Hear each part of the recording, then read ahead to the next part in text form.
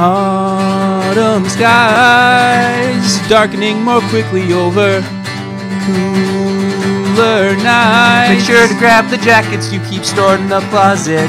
The air is getting chilly and it's easy to forget.